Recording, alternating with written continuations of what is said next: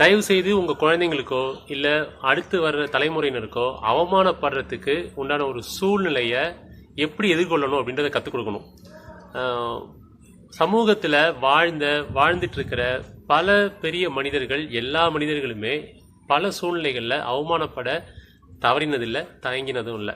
இந்த அவமானம் நமக்கு மட்டும்தான் அப்படிங்கிற ஒரு எண்ணம் தான் நீங்கள் எதிர்கொள்ள சூழ்நிலையை அவமானமாக பல மடங்கு பெருக்குது. இதுக்கு முதல்ல அவமானம்னா என்னன்னு கொஞ்சம் தயவு செய்து புரிஞ்சுக்கோங்க. உங்களுக்கு ஒரு விஷயம் தெரியல அப்படிங்கிறது நீங்க அவமானமா எடுத்துக்கிறதே இல்லை.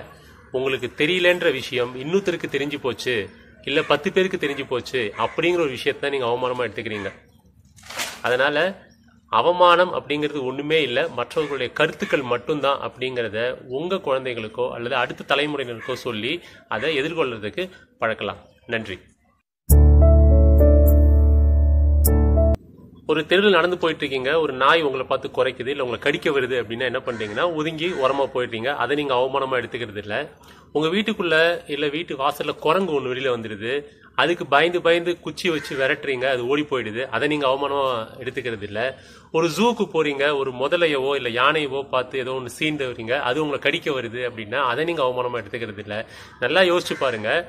அஞ்சறிவு இருக்கிற விலங்கு அது பலமான விலங்காக இருந்தாலும் சரி பலவீனமான விலங்காக இருந்தாலும் சரி அது எது செஞ்சாலும் உங்களை நீங்கள் அவமானமாக எடுத்துக்கிறது இல்லை. ஆனால் உங்களுக்கு சரிக்கு சமமாக இருக்கிற ஒரு மனிதர் உங்களை ஏதாவது கோபமாக பேசிட்டாலோ இல்லை திட்டாலோ திட்டிட்டாலோ இல்லை மேலே கை வச்சிட்டாலோ அவமானமாக எடுத்துக்கிறீங்க இது ஏன் அப்படின்னு கொஞ்சம் யோசிச்சு பாருங்க. ஏன்னா உங்களுக்குள்ள இருக்கிற முரண்பாட்டுக்கு உண்டான விடை உங்களை தவிர வேற யாராலையும் கொடுக்க முடியாது. நன்றி.